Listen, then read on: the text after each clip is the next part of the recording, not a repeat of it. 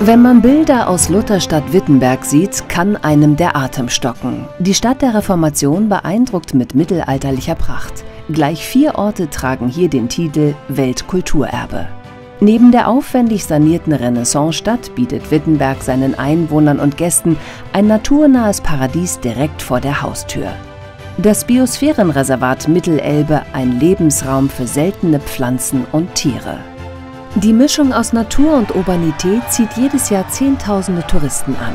Sie erleben hier das ganze Jahr über viele kulturelle Höhepunkte, Konzerte, Festivals oder Veranstaltungen rund um Martin Luther. Der Stadt der Reformation gelingt es, Vergangenheit, Gegenwart und Zukunft spannend miteinander zu verbinden.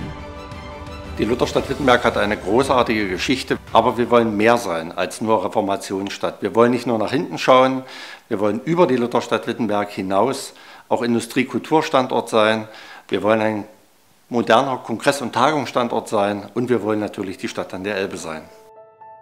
Zum Kapitel Zukunft gehört in jedem Fall die Hundertwasserschule. Fantasievoll in der Architektur, visionär in der Didaktik. Reibung erzeugt Hitze aber auch Fortschritt. Physikunterricht in einer 10. Klasse. Thema das aerodynamische Paradoxon. Statt klassisch frontal wird Wissen hier als expressionistisches Kammerspiel vermittelt.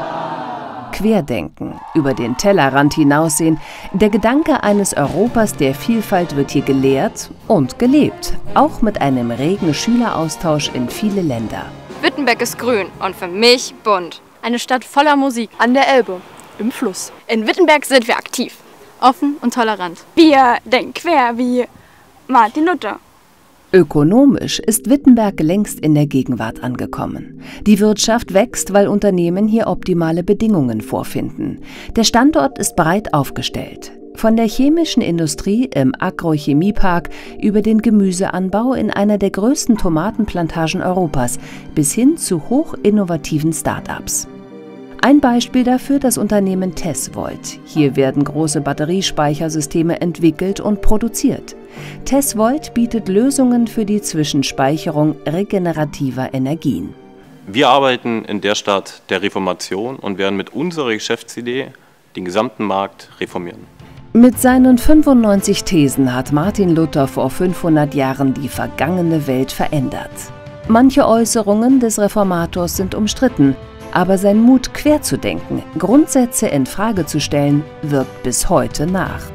Auch und vor allem in seiner Heimatstadt. Die Lutherstadt hat ihr historisches Erbe erhalten und weiterentwickelt. Heute strahlt es in die ganze Welt hinaus. Ich sehe, dass mein kleines Wittenberg sich schön herausgemacht und auch modern herausgeputzt hat. Und hoffe, dass es weiterhin ein Treffpunkt kluger Menschen und innovativer Ideen bleibt.